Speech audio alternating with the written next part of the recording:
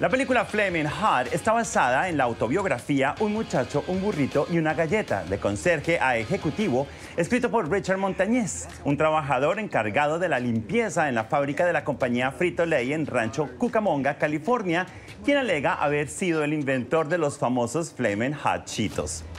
Esta producción, dirigida por la actriz Eva Longoria, tuvo su primer mundial el pasado marzo durante la edición 2023 del festival South by Southwest y ahora hace parte del catálogo de Hulu y Disney Plus. En Flaming Hot, la actriz Annie González interpreta a Judy, la esposa del personaje principal. Con ella hablé de manera virtual. Vean esto. Right there, I see a chingón, a montañés. Yo soy Montañez. Annie, hi. Annie, hola, ¿cómo estás? Hola Alfonso, me encantan tus gafas. Thank you so much. And you know what I like and very much your performance in this movie was very Muchísimas gracias. ¿Y sabes qué me gusta a mí? Y mucho tu actuación en esta película es muy hermosa. Y tengo que decir que también me encantaron tu maquillaje y tu vestuario porque este es un viaje en el tiempo. ¿Cómo fue trabajar con el departamento de maquillaje y vestuario y todo lo que constituye el aspecto visual del personaje? Oh Dios mío, todo fue maravilloso. Terry, la directora del departamento de maquillaje, fue muy colaboradora cuando de experimentar se trataba, en especial porque no solo es una pieza de época, es un tipo de cultura muy específico, tipo chicana, como en esta época y en el área de Island Para. Todo era como muy específico y ella estaba muy dispuesta a trabajar conmigo y probar cosas diferentes y me preguntaba qué piensas sobre esto y qué tal te parece este color cómo funcionaría esta forma de ceja en los 80 y fue muy divertido. Y Teresa Hill, que hacía pelucas, fue toda una maestra en cómo entendía el pelo, las pelucas, los cortes o sus peinados. Todo era de ensueño porque eso realmente te ayuda a sentar el precedente para crear un personaje rudo como el de Richard, ¿no? We all write our own stories. Where is Richard? I'd like to speak to him. I'm here. This time, that's me, el mero mero, Mr. Richard Montañez. Yeah, she's she's really a very driven, strong woman, and I am fascinated because. Sí, Judy es realmente una mujer muy decidida y fuerte, y me fascina porque es una película muy inspiradora sobre el poder de los latinos. Pero para mí también se lee como una hermosa historia de amor, lo que viven juntos y lo que ella hace por él en términos de apoyo y fe. Es increíble. ¿Cómo ves esta historia desde ese ángulo? Mm, cuando leí el guion, eso es exactamente lo que me llamó la atención. Por encima de todo, yo estaba como con un plan. Si bien esta es una historia sobre la creación de lo que reconocemos de entrada al tiempo, es una historia de amor y es una historia de héroes. Es una historia de amor entre Richard y Judy. Y es una historia de amor para la comunidad. Y esto es lo que nos demuestra es que los héroes pueden parecerse a nosotros sin tener que usar capas. A veces tienen mapas, a veces fritan chiles en un sartén. Viva el comal, I love them. ¡Viva el comal! Tengo uno y lo uso muy a menudo. Es realmente mexicano si no tienes uno. ¿Entiendes lo que digo?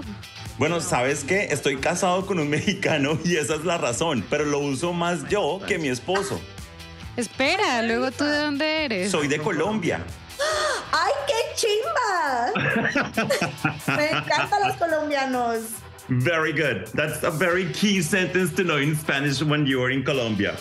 Pero muy bien. Esa es una frase muy importante que debes saber en español cuando estés en Colombia. The recreation of some scenes that speak to a lot of Latinos Además quería hablarte sobre la recreación de algunas escenas que le hablan directo a muchos latinos que han venido a este país en busca de una vida mejor.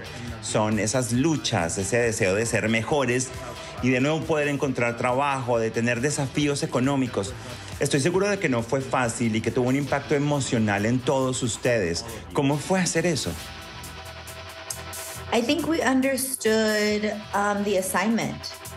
So Creo que hemos entendido la tarea, así que todos hemos vivido muchas de estas experiencias a nuestra manera, ¿sabes? Y creo que la gran alegría de ser artista y actor es entender la condición humana y luego poder recrearla.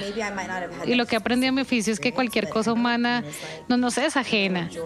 Quizás no haya tenido esa experiencia específica, pero sé lo que es el dolor sé lo que es la alegría, sé lo que es el fracaso. Así que tener que ir allí para reencarnar eso es parte de mi trabajo. Y estoy muy agradecida de poder contarlo en una historia que significa tanto para mí como latino y para mi cultura. Figure out the next step. See, the Hispanic market will not be ignored. The Hispanic market will not be ignored. Yeah. I also wanted to ask you about the experience. Sí, también quería preguntarte sobre la experiencia de trabajar con Iva Longoria. ¿Cómo fue verla, entender su visión, hablar con ella y ver desde su perspectiva lo que tenía que ser la historia? La reina. Ay. Creo que ella es una maestra, es tan brillante en la forma en que aborda su oficio. Creo que es tan magistral porque es una artista ante todo, pero también una mujer de negocios muy inteligente. Así que cuando ella, pese al hecho de que somos artistas, esta sigue siendo la industria del entretenimiento, ¿verdad? Así que sigue siendo un negocio y ella siempre decía que se identificaba con Richard resaltando cosas como el plan, yo soy Richard, yo tengo un alma radiante, pero me han dicho que no así que ella dice que Sé que tengo que ser más inteligente, más brillante, más amable, más de todas estas cosas. Y afirma que lo va a hacer con gracia. Y así, tal cual, ella lo logra. Entraba en ese set a diario y siempre con la mejor energía. Y así lograba que cada día nos sintiéramos como si estuviéramos en una barbacoa, como haciendo un proyecto en el patio trasero con nuestra familia, porque aún era un trabajo. Y seguía siendo un trabajo, pero ella lo hacía más especial y era muy increíble. Fue muy divertido y aprendí mucho. Eso es fenomenal. Annie, muchísimas gracias. Ay, a ti, gracias. Chao. Chao. I got a little hood there at the end, but